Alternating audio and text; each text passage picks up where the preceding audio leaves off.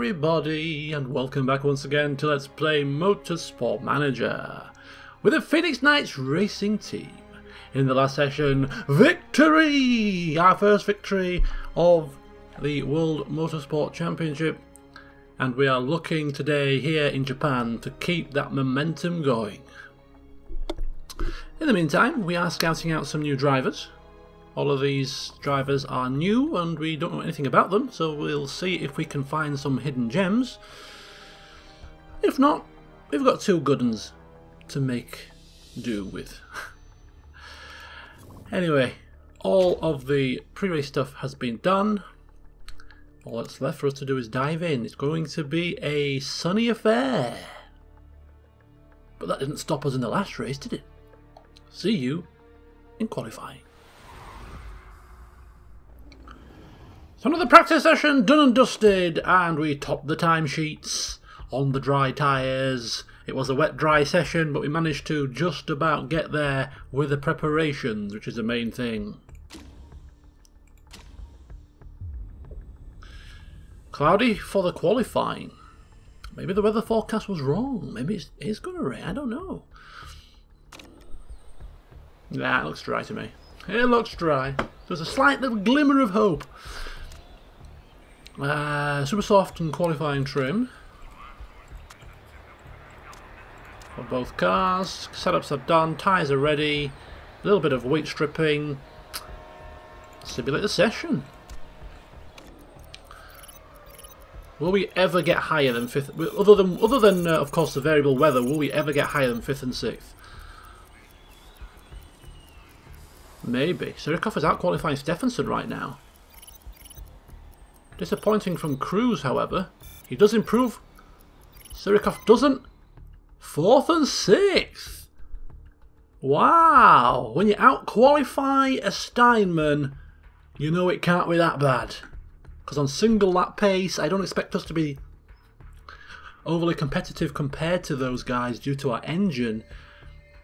But if we are out qualifying them already, this is definitely a good sign. Ho, I'm happy with that. Well done, Surikov.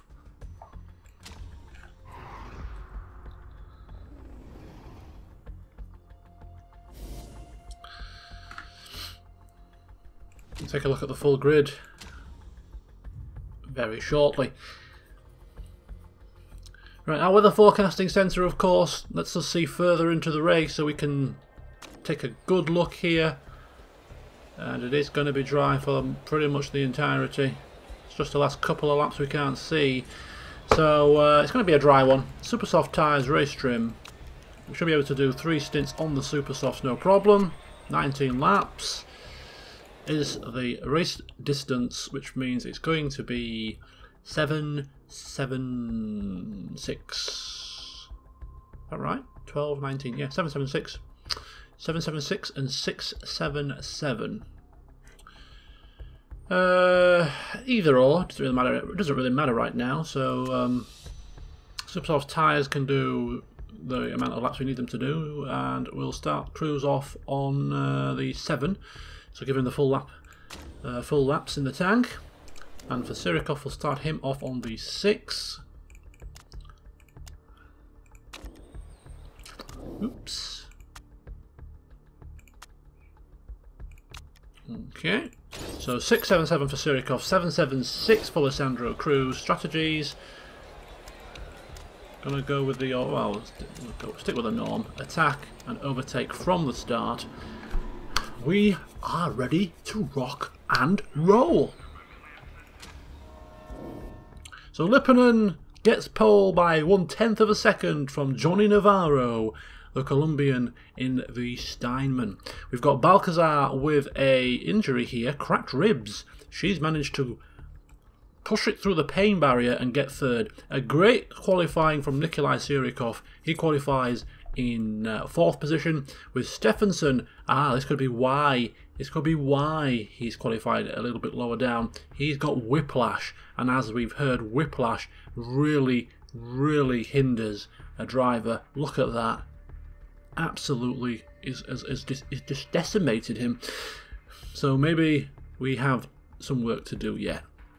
Lisandro Cruz in sixth, and then we've got Partanen and Parisi seventh and eighth. Once again, as I said at the start of the season, I'm expecting the Panthers to be competitive now, that they've got some better drivers in there, and that pushes Catano down into 10th position with Rick de Graaf, who I did suspect had some kind of a debuff due to the fact that he was a little bit below par. It was confirmed in the last session when he had, we can't see it here, but he does have an issue with an exposed affair.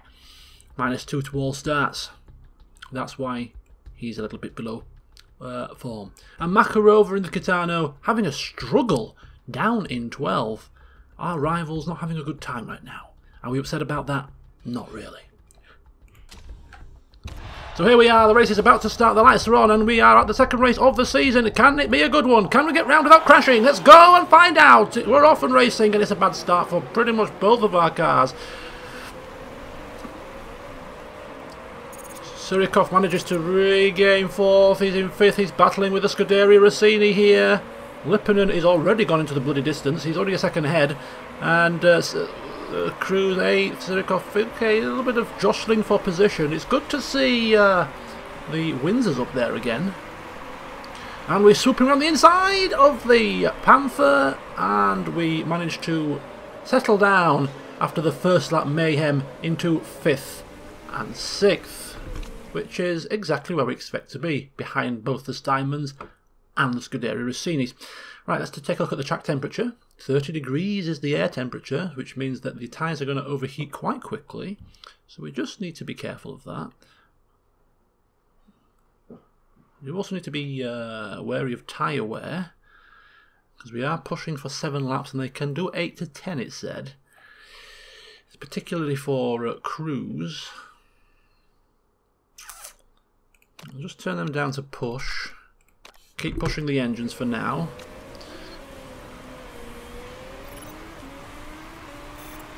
Okay, I think I think another lap of pushing the tyres and overtake on the engines, and then we'll turn it down to neutral and high. Car condition is looking not too bad.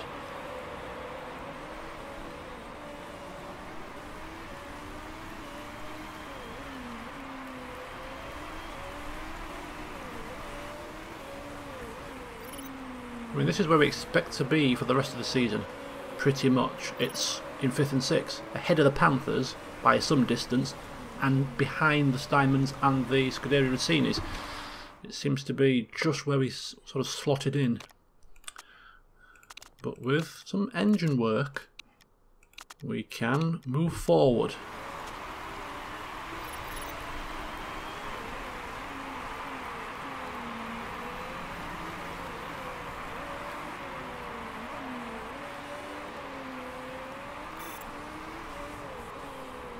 They will turn their engines down eventually and their tyres and then hopefully that we can just about keep up with them.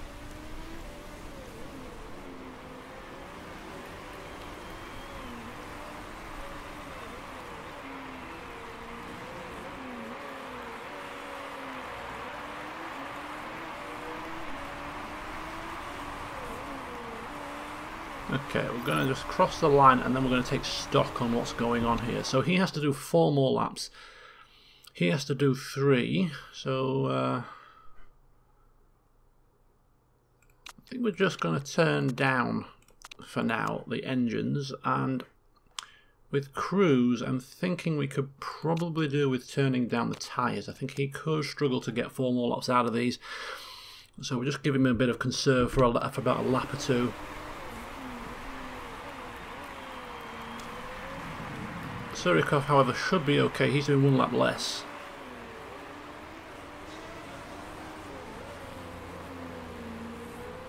Just got to keep an eye on Cruz's gap to Partanen.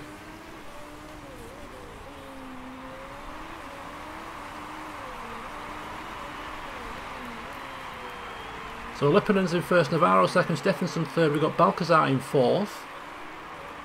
Stephenson, of course, with his whiplash Perhaps we should put some pressure on him later in the race when he's a bit fatigued. He drips down to fourth position and into our clutches. Two more laps. Okay, sorry I had to pause it there for a second. Looks like uh, Partonen is just catching uh, Cruz pretty quickly, so we're just going to give him a bit more power now. Surikov should be okay. He is gaining on Stephenson. He is, he is coming in for his pit stop on the next lap. So what we're going to do is we're going to give him full juice from this point forward for his in lap. He overtakes Stephenson, whiplash and all, and begins to put his foot down. How many laps of fuel have we got? Yeah, we should be okay there. So this is his final lap before his first pit stop. Bringing him in, bringing him in. Uh, another change of super softs. We're going to fill him up to the brim. Seven laps on this stint. As he begins to pull away. Look at that. Look at Partonen. He's on a charge here. Absolutely on a charge. He is pitting now. He shouldn't pass.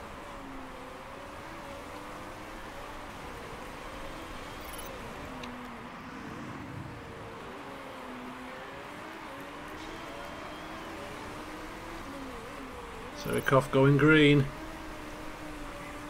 In he comes. There's Cruz, he crosses the line, he's still got a little bit of fuel in hand, probably can't afford to push him too much. His tyres will go into the red. Good stop for Surikov, we'll give him a lap of pushing with both tyre and engine. Where's he come out? He's come out in 16th place. Is he in traffic? Nope, he's got a clear track, that's good. Okay, so focusing now on Cruz, who is yet to be pit stop is yet to be uh, decided here. He's also going to go for another seven stint, and uh, in he comes. The last portion of the lap, we'll put him on push. In fact, we'll give him full power here.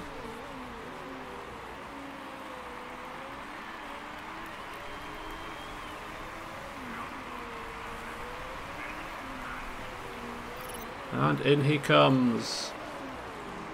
Let's see if he can leapfrog Stephenson. It's unlikely, but it's not impossible. Nope. Same time. But it does appear to have closed that gap. Oh, Surikov is behind a Steinman.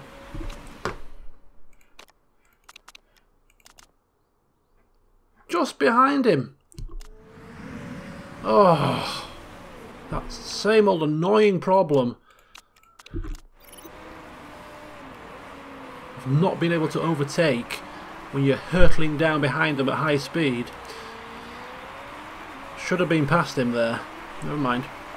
Cruz has managed to keep ahead of Partonen for now. Partonen's on the harder compound, so this shouldn't be a problem for Cruz to keep ahead. We say it shouldn't be a problem. We hope that he will prove us correct in our assertions here.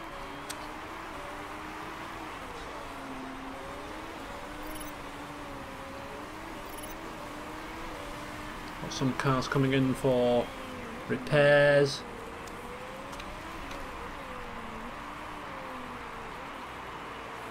Still in 5th and 6th after the first stops.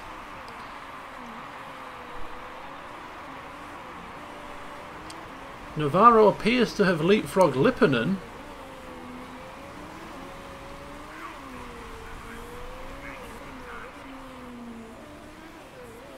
Lipponen is absolutely all over the back of him like a rash, and it looks like he is passing here. Lipponen swoops on by Navarro, reclaims first position.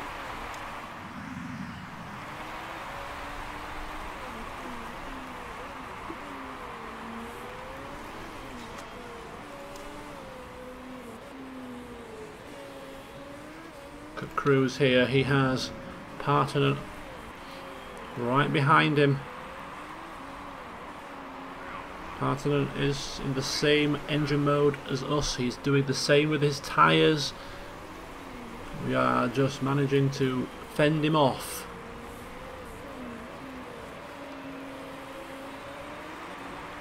Only just though.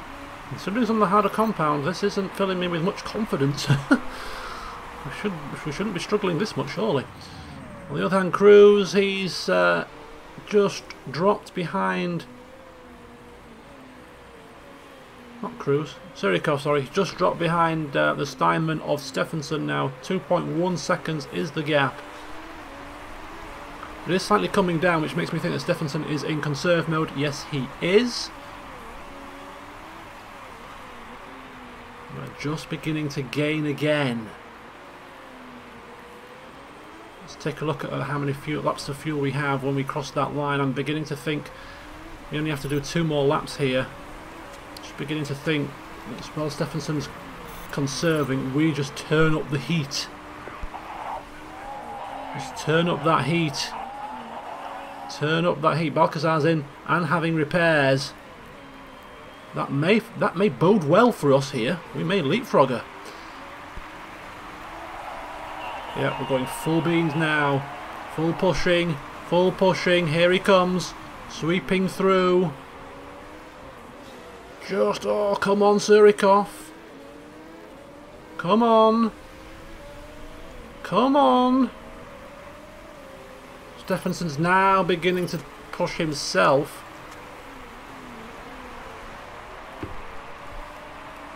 Navarro's in the pit for Steinman. There we go, he's passed. Oh, oh. He is past finally. Finally gets past. The tyres are in the red though.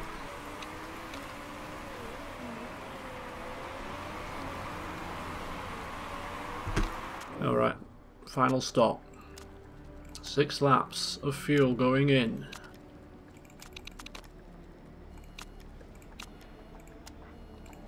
Suspension. Just a little bit. Need to keep an eye on that. Cruz. He's got a just over a second gap to the car behind. And he's got uh, the ability to just push it for his in lap.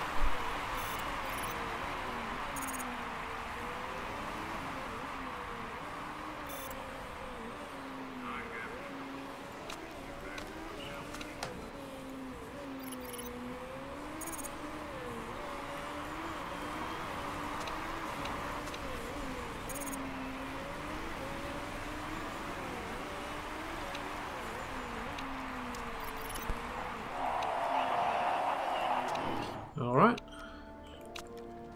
People thinking, oh, is he going to forget? No, I knew, I knew. I'm just waiting, biding my time. Here we go. So where did Surikov come out? Surikov came out ahead of nobody. He's behind Navarro, he's behind Stephenson. So he hasn't managed to leapfrog anyone.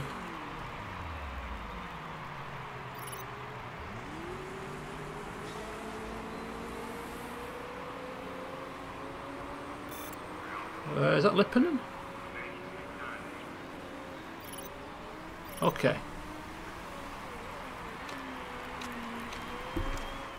Just losing track here slightly. Let me just get my bearings here.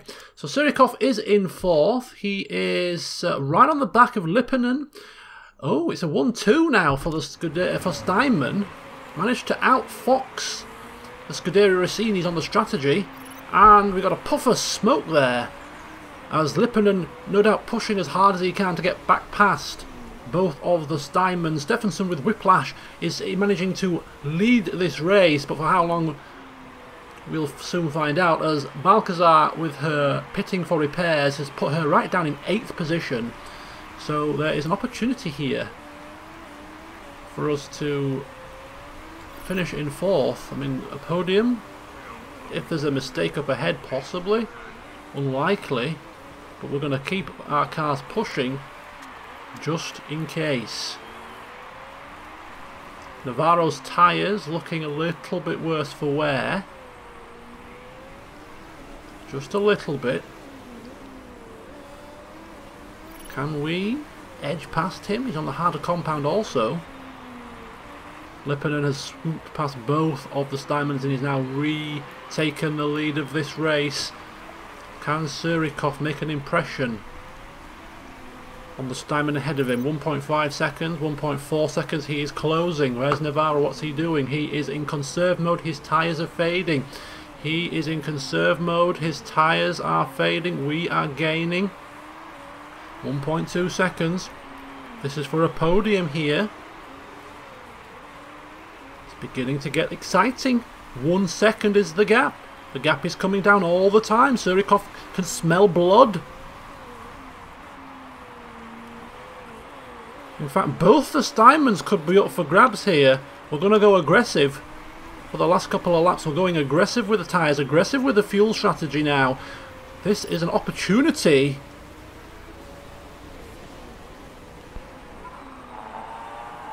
And a half.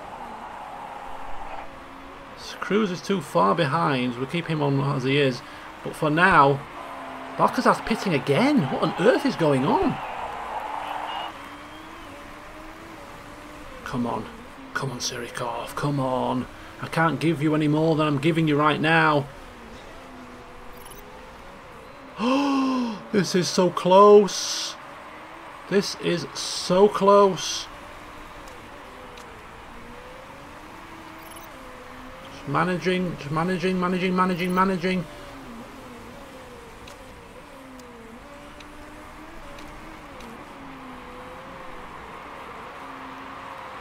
I don't think he's going to have the pace to get past.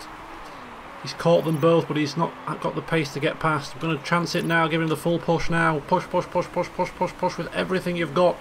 Come on. Come on. Ooh. Ooh. Oh my gosh. Come on, the podium is there for the taking. Yes. Yes! At the last minute he got it! He did it at the last corner! Cruz in fifth.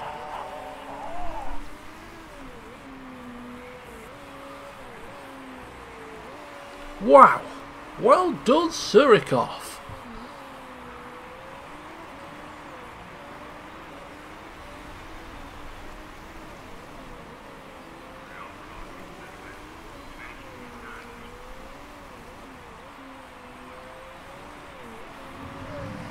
So manages to get the race victory despite the strategy in the pits not working out both times in the, for both stops, coming out behind the Diamonds, but managing to get back past on the track.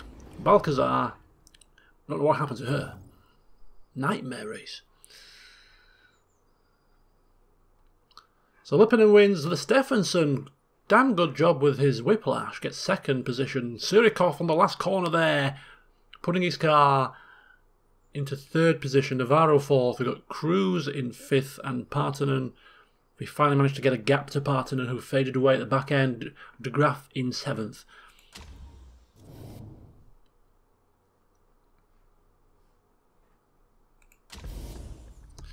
Some valuable points.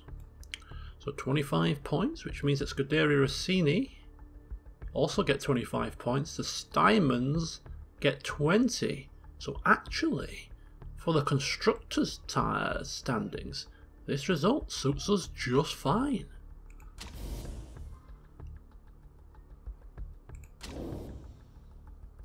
Sandro Cruz still top of the pile in the drivers' tyre standings. Surikov with his first 15 points, moving up to sixth position. Constructors, two point gap to Steinman.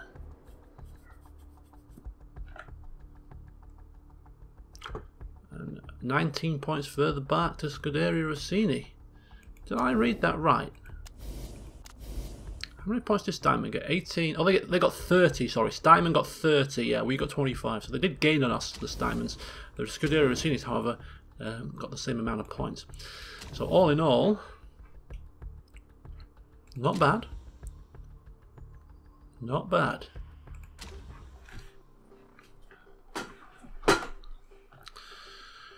So this time we shall do all the pre-race stuff on camera. We'll kind of we kind of alternate between doing it off camera and on camera. This time we'll do it on camera. Only 1.2 million gone down the drain. Makes a change from two. We'll definitely take it. Okay, so 17 days until Beijing, where it is forecast to be rain, and that's where Surikov will come into his own with his wet weather ability. Our forecasting centre also may be able to assist us in predicting and planning better for the strategy. I'm looking forward to it. I really am looking forward to it massively. So we're just got to progress the time.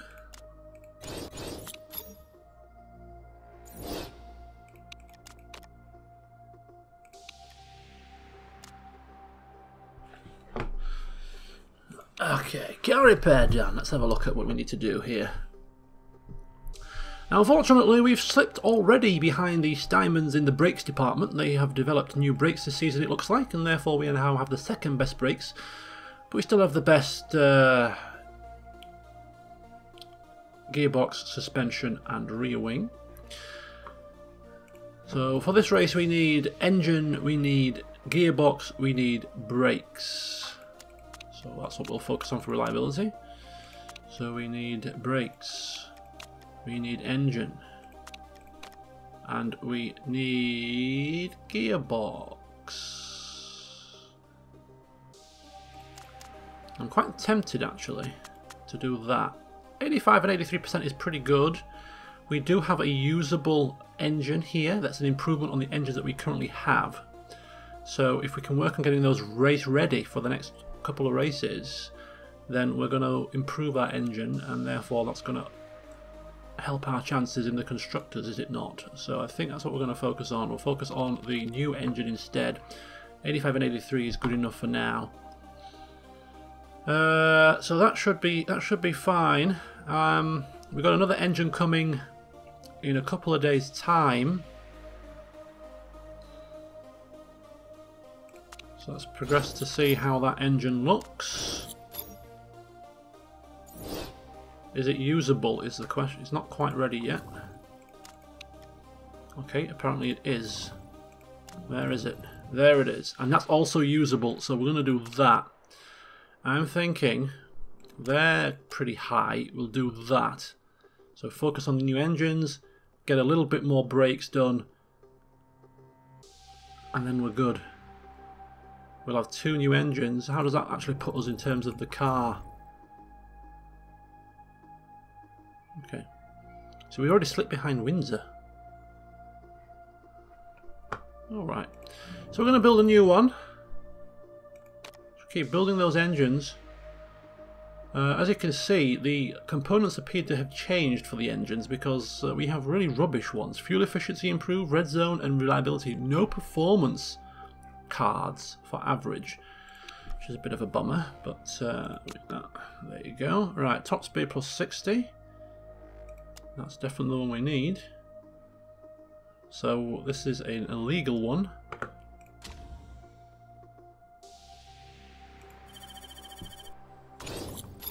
which is fine. 14 days, okay. Sponsors. Fourth or above, ninth or above, or eighth or above. I'm thinking fourth or above is a little bit of a push. Just a little bit of a push. That's second or above, and that's tenth. Got some more scouted drivers here. Oh my god, he's awful. Uh, yeah, not very good. Okay. not setting the world alight, are they?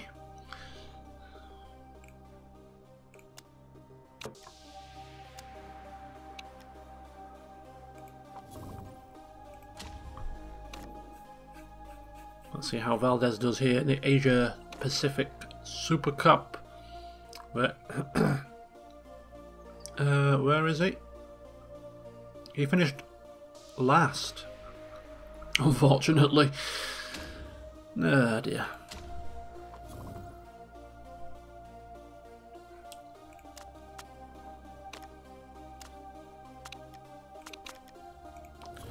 Just take a quick look at the parts now. 89 and 88, that's good. So uh, the high 80s there for the main parts. Now we're going to focus just on the engines until the end, get them up as high as possible.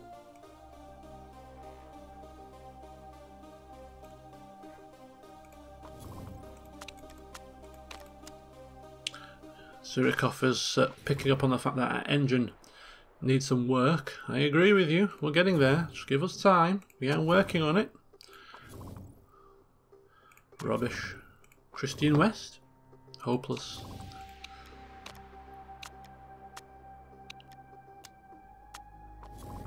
And we're at race day here for the Chinese GP here at the uh, Beijing circuit.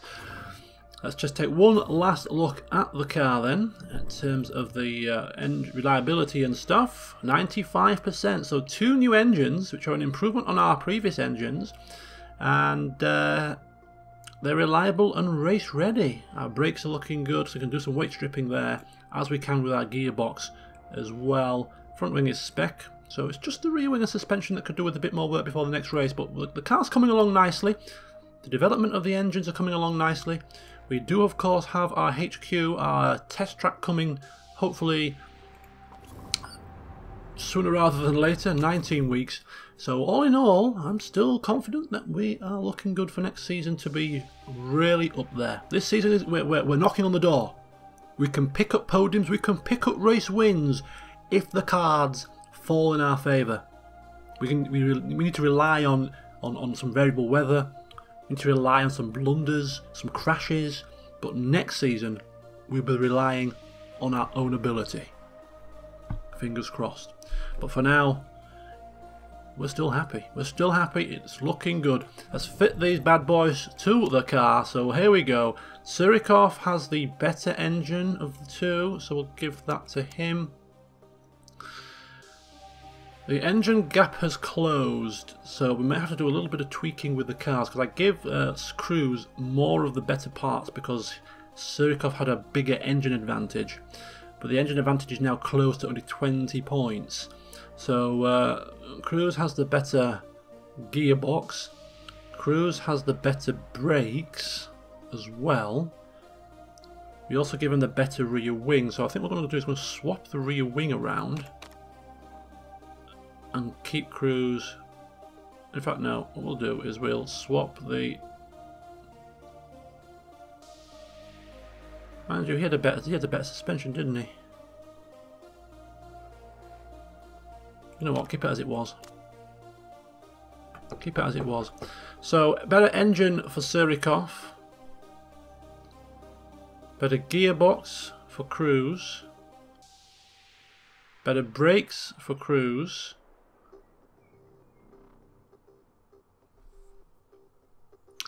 Better rear wing for Cruz, and Surikov gets the better uh, suspension. seems reasonable to me. Okay, so there you go. Uh, we're ready. We're ready for the next race at China. Join me next time. See you soon.